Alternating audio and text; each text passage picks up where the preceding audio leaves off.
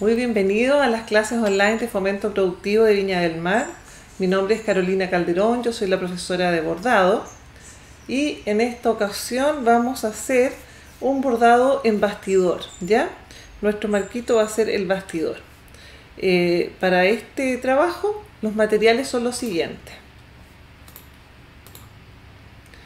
Un trozo de, de crea cruda puede ser o lino, hilos de diferentes colores, una aguja con punta, un bastidor tamaño de elección según el, tamaño que ustedes quieran hacer el, este marquito para colgar y tijeras. Ya, ahora vamos entonces a hacer los diferentes puntos que vamos a ocupar en este, en este mm, bordado. La idea es hacer algo similar a esto, ¿ya? Que quede, que quede para ahí para colgar. Pueden hacer muchísimos diseños. Yo les voy a mostrar ahora otros diseños. Por ejemplo, este, así. Esta es la idea, ¿ya? Esta es la idea que ustedes hagan el bordado y después lo, lo cuelguen. Pueden hacer flores, pajaritos. En esta ocasión vamos a hacer este diseño que tengo aquí marcado. Recuerden Recuerden eh, suscribirse a nuestro canal de YouTube y el dar like a nuestro video, ¿ya? Em, también nosotros eh, vamos a estar en línea, si es que todas sus consultas a mano derecha del, del video están, está el chat para que hagan todas las consultas que tengan durante la clase, ¿ya? Eh, como les contaba, este, este bastidor lo marqué así con las florcitas alrededor porque ustedes también después pueden ponerle un nombre, por ejemplo, el nombre de su hijo o de la persona que quieran. Eh, pueden poner mamá, pueden poner eh, te quiero, bienvenido, lo que ustedes quieran, ¿ya?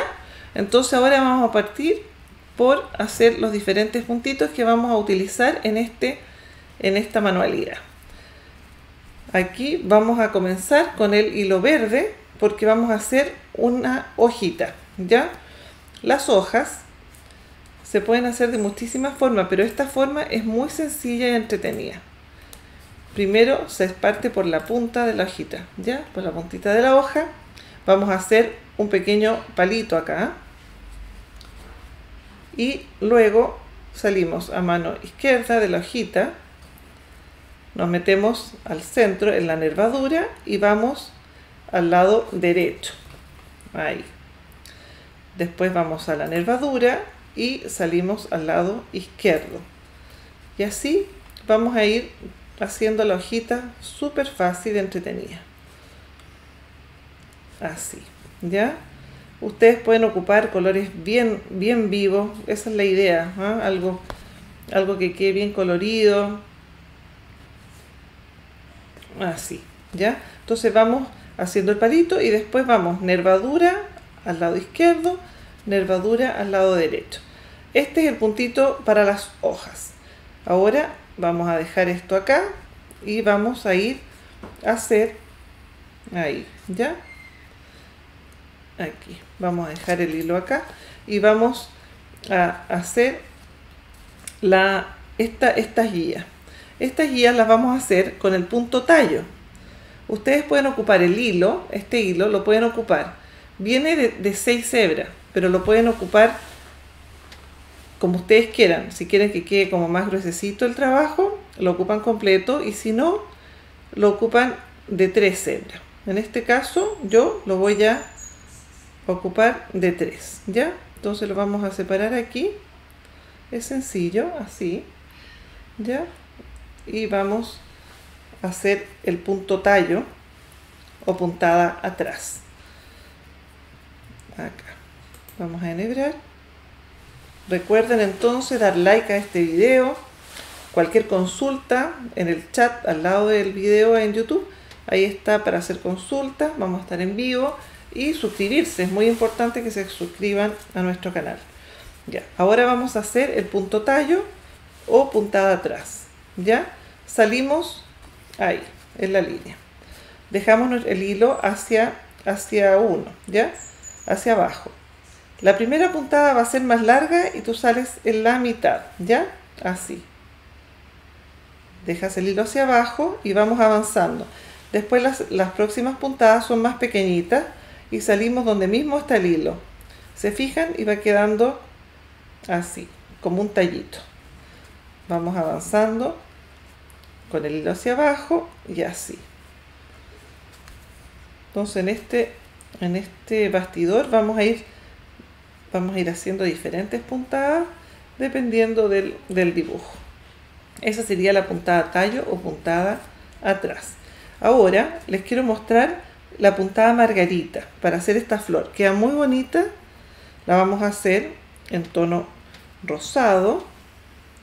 Acá, aquí ya está de tres hebras el hilo. Vamos a enhebrar.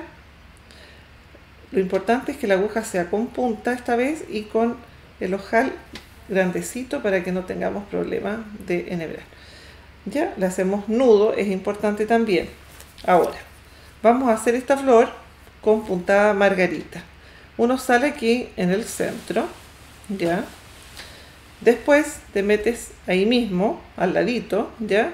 Te asomas ahí en la punta, das vuelta acá y, y terminas la puntada, ya. Esta se llama puntada margarita o cadeneta, pero en realidad cuando se forma una flor se dice margarita. Acá. Nuestro hashtag es yo me capacito en casa. Así es que es importante que en estos tiempos, si es que tenemos que salir con mascarilla, ojalá, y al regreso lavarse profusamente las manos. Es muy importante. Aquí.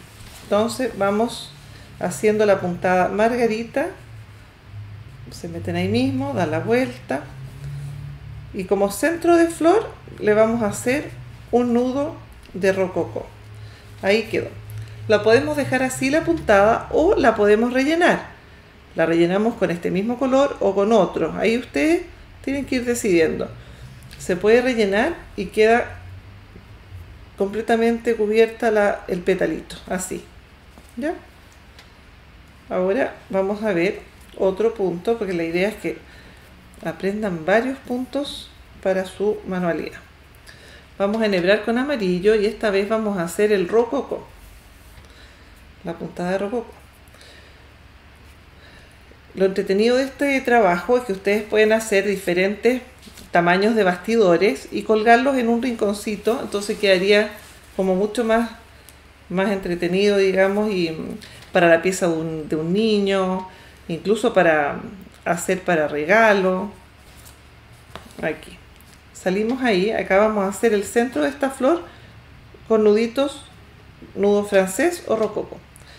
Vamos, salimos entonces con el hilo, damos una vuelta, damos dos vueltas, vamos a hacer dos vueltas alrededor de la aguja, metemos al lado ahí, tensamos acá el hilo con esta mano tomamos el bastidor y pasamos el hilito a través de las, de las argollitas que hicimos. Vamos a hacer un nuevo punto. Salimos acá, hacemos una, dos vueltas y nos metemos al lado. ¿Vieron qué entretenido? Este punto sirve para hacer centros de flor, para hacer estos pistilitos también. Eh, ¿Qué más? Entonces, vamos a hacer un último punto de relleno para que ustedes, o puntada de festón, puntada de festón vamos a hacer acá para, para que así aprendan hartos puntitos y puedan hacer después en su casa un bordado entretenido y colorido, de eso se trata. Ya, aquí vamos a hacer una última puntada para que terminen su trabajo hermoso. Hicimos la soja, el tallo, el centro de las flores, florcitas con puntada margarita y ahora vamos a hacer con em, punto de festón, ¿ya? Así, salimos acá y ponemos el hilo acá. Vamos a meternos al ladito ahí y la primera puntada va a ser como, como hacer un punto de cadeneta, fíjense, ahí. Pero ahora avanzamos hacia el lado.